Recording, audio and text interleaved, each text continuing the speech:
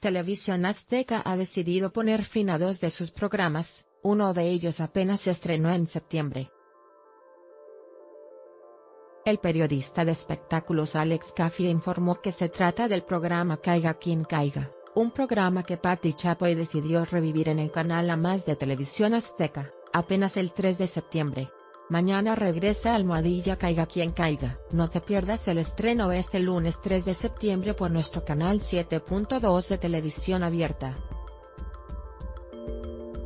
pic.twitter.com barra f0 canal a más 7.2, arroba más.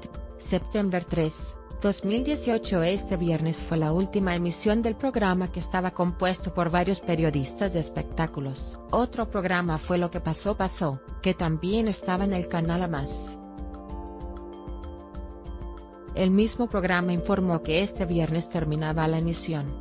Y según Café, en el programa de Enamorándonos hubo recorte de personal, cinco miembros de producción fueron despedidos, presuntamente por la mala racha económica que enfrenta la televisora, a pesar del buen rating del programa.